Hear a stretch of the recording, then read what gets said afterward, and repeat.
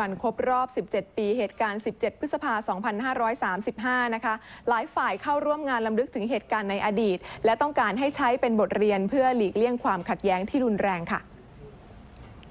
ญาติของวีรชนและตัวแทนจากหลายฝ่ายเข้าร่วมพิธีวางพวงมาลา และกล่าวสดุดีวีรชน ในงานดำลึก 17 ปี 17 พฤษภาคม วันพฤษภาประชาธรรม ที่สวนสันติพร พร้อมย้ำให้ประชาชนรำลึกถึงเหตุการณ์ที่เป็นความขัดแย้งทางความคิดของคนในสังคมไทย และควรจะหลีกเลี่ยงความขัดแย้งทุกรูปแบบ เพื่อไม่ให้ประวัติศาสตร์ซ้ำรอย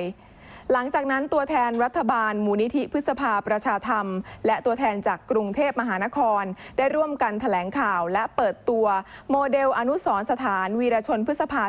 35 ที่ได้เริ่มต้นโครงการในสมัยนายชวนหลีกภัย แต่มีอุปสรรคหลายอย่างจึงค้างมาหลายปี ซึ่งขณะนี้รัฐบาลได้จัดสรรงบประมาณ 27 ล้านบาท มอบหมายให้กรุงเทพมหานคร เป็นผู้ดูแลดำเนินการก่อสร้างต่อ ซึ่งคาดว่าจะเห็นเป็นรูปธรรมในเดือนพฤษภาคมปีหน้า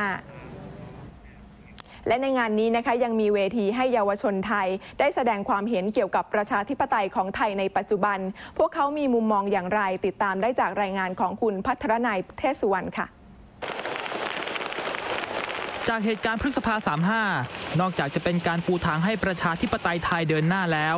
อีกด้านยังสร้างความเจ็บปวด และเสียใจให้แก่ผู้อยู่ข้างหลังของวีรชน ผู้เสียสละชีวิต เพื่อได้มาซึ่งสิ่งที่เรียกว่าประชาธิปไตย น้องแนนอายุ 17 ปี ผู้ที่สูญเสียพ่อจากเหตุการณ์ โดยที่ตัวเองไม่มีโอกาสได้เห็นหน้าพ่อมาก่อน บอกว่ารู้สึกเสียใจกับเหตุการณ์ที่เกิดขึ้น และไม่อยากให้เหตุการณ์เกิดขึ้นซ้ำอีก เพราะไม่อยากเห็นครอบครัวอื่น ต้องสูญเสียคนที่รักไปเช่นเดียวกับเธอ นี่ก็คุณแม่ก็เพิ่งจะมารู้ว่าคุณพ่อเสียชีวิตอะค่ะก็เสียใจเพราะว่าแนนก็ท้องด้วย ไม่อยากให้เกิดเรื่องแบบนี้อีกอะค่ะเรื่องพฤษภาธมินแบบยิงกัน คือไม่อยากให้เป็นอย่างนี้อีกแล้วก็ ไม่อยากให้ประชาชนแบบเสียคนที่เรารักไปอะไรอย่างเงี้ย ด้านเยาวชนไทยที่สนใจสถานการณ์บ้านเมือง เห็นว่าประชาธิปไตยไทยในปัจจุบัน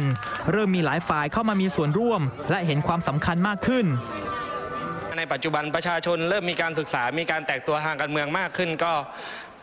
การซื้อเสียงก็เริ่มน้อยลง การขายเสียงก็เริ่มน้อยลง และประชาชนก็แตกตัวทางการเมืองมากขึ้น จากจิตสำนึกจากอุดมการณ์จากการจากสิ่งที่พวกเขาได้เรียนรู้มาสังคมปัจจุบันเปิดกว้างมากขึ้นนะครับเยาวชนเลยไม่ต้องมารวมกลุ่มกันเป็นประชาธิปไตยข้างถนน หรือว่ารวมกลุ่มกันมาเรียกร้องอะไรบางอย่าง ราะเขาได้รับในสิ่งหลาย ๆ สิ่งที่ที่เขาเรียกร้องและได้รับ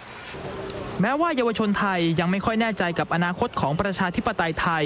ว่าจะออกมาในทิศทางใด แต่พวกเขาก็เชื่อว่าน่าจะดีขึ้นกว่าเดิมคาดเดาไม่ออกว่าจะออกมาในรูปแบบไหนนะครับ